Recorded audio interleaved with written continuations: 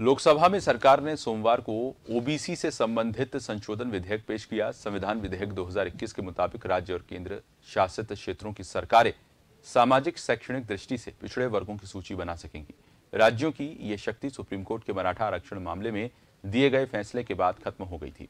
लोकसभा में सामाजिक न्याय और अधिकारिता मंत्री डॉक्टर वीरेंद्र कुमार ने यह विधेयक पेश किया।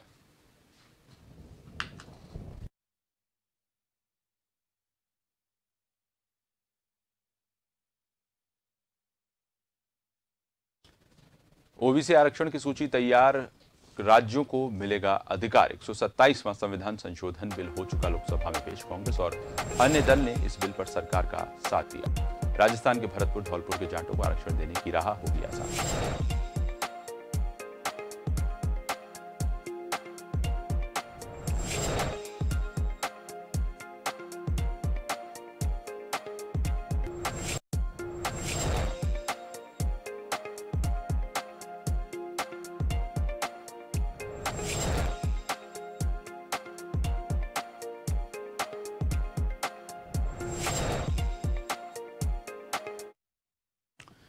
राजस्थान में विधायकों के लिए विधानसभा के पास फ्लैट्स बनाने का काम शुरू हो चुका है। यहाँ करीब 160 फ्लैट्स बनाए जाएँगे। मुख्यमंत्री अशोक गहलोत और विधानसभा अध्यक्ष सीपी जोशी बुधवार को इनका ऑनलाइन शिलान्यास करेंगे।